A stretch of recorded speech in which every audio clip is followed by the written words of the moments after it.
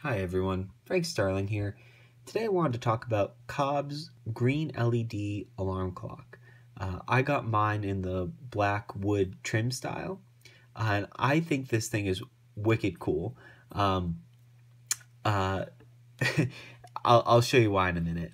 Uh, flipping it over to the back, uh, we have three buttons that change the different functionalities of this alarm clock and it also features a DC power source which I have it plugged into now. So it's a DC to USB and it comes with a USB to AC converter. Um, and then there's also uh, a battery modality that can function the alarm clock with four AAA batteries.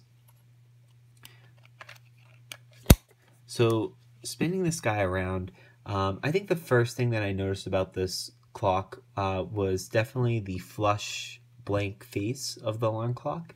I thought it was really unique, and that's what really attracted me to to get this alarm clock. Um, and then by far the most notable thing was the clapper.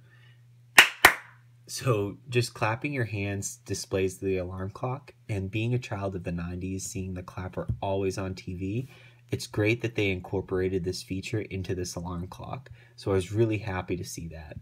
Um, first impressions of it were that it were was pretty small, uh, which is actually a great thing for me because I didn't want a clock to take up a lot of room on my desk. And uh, this thing definitely has a small form factor, so I was happy to see that as well. Um, walking through the alarm clock, uh, it's pretty easy to change some of the features um, that this alarm clock's capable of uh, displaying.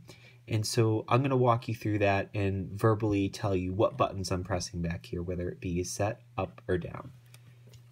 So uh, we have our clock in military time, and if we press and hold the set button for three seconds, it's going to allow us to change from 24 hour, now I'm pressing the down button, to 12 hours. Or if I press the down button again, we can jump up to 24 hour. So just for the sake of this tutorial, I'm going to press the down button again, and set it to 12 hour mode. Then I'm going to press the set button again and it's going to allow me to change the hour. I'm pressing the up button or uh, the down button to change the hour. And then if I press the set button again, we go over to the minutes and you can do the same thing, adjust that. And then press the set button again and it displays the alarm. And pressing the down button yields the on uh, display and the down button again would yield the off display. If you choose to set up your alarm, you can uh, you're then going to be prompted for the time after the first alarm. And so we're going to press the set button again and it's going to prompt the time for us. Um, so we turn the alarm off so it doesn't matter, but here's where you could, you know, adjust the up and down button to set the alarm that you want. And that little dot in the corner, uh, that indicates PM on the clock. So I'm just going to press set and set again to go through the first alarm and then set to say that we don't want a second alarm. Set, set. And then for just the sake of argument, I'm going to turn the third alarm on, press set.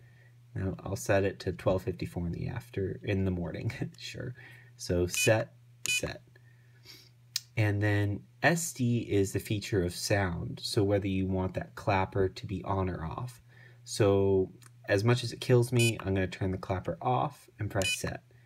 And now we're going to have a steady display of time and temperature um, that won't ever dim.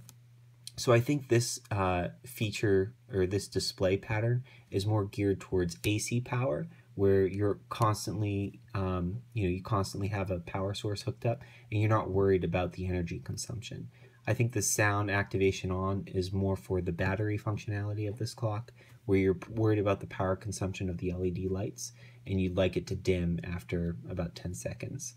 Um, so there's a shortcut to change the um, both the temperature display, whether it's in Celsius or Fahrenheit, and the clapper on and off and that is by pressing the up button, you're prompted with the um, Fahrenheit temperature. So if I press up, up, I can change the temperature from Fahrenheit to Celsius. And um, then if I press the down button, it's going to prompt me for the sound. So if I press down, it will uh, turn off the sound, and if I press down again, it will turn it on, and that's the way I prefer. So all in all, I think this is a great little alarm clock. I'm happy that it's packaged into such a form factor and incorporates the technology of the clapper in it uh, because that that really um, made this clock unique for me. Uh, I think the flush wood um, style is awesome. Uh, a lot of times when my friends see this, they don't realize that it's a clock, and I think that's a really cool feature about this. Um, I would say if I had to critique uh, the clock, I would say that the um, power cord could probably be longer. Right now, it's pretty small. I'd say it's about two feet in length, um, which isn't a really big deal for me because I have a power outlet right next to my desk. Um, but I could see that being problematic in different setups. Um, so that would be my one critique of this clock. But overall, I think this is a great product.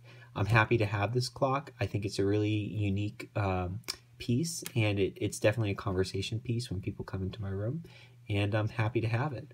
So thanks for watching. This is Frank Starling. Take care and have a good day.